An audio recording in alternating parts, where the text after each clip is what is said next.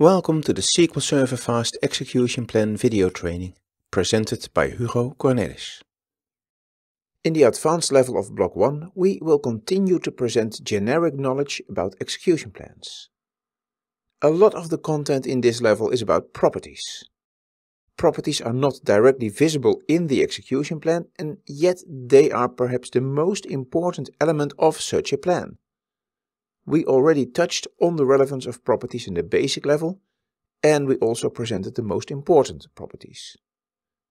Here, in the advanced level, we have two full chapters devoted to properties.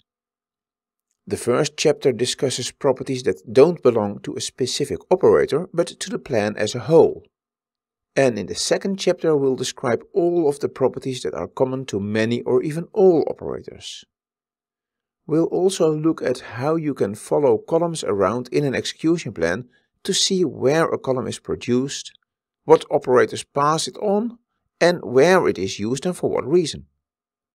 All demos in the second chapter use the same query, a query with performance issues that we will try to improve by using the things we have just learned. The third chapter talks about what I consider an invisible property, the order of the rows in the data streams between operators. Some operators impose a specific order on the rows they produce. Some operators return their results in the same order as they received them, while others can mess up the order and effectively return data in random order. And yet other operators require their inputs to be ordered in a specific way. When the optimizer creates an execution plan, it keeps track of the order by using its knowledge of which operators impose a certain order and which operators preserve that order to determine whether or not it needs to resort the data before feeding it to an operator that expects its inputs to be ordered. In chapter 4 we talk about missing nodes. This is not as dramatic as it sounds. I use the term missing node to refer to a situation where after plan selection, the final cleanup phase found a way to remove a node from the execution plan. This is a good thing because this improves performance. But sadly, the optimizer does not always correct all properties to reflect the effect of removing this node, and that can result in very confusing artifacts in the execution plan. You will see a few examples with an explanation of why the data is misleading at first sight and how you should interpret it once you realize that the data is misleading because of a missing node.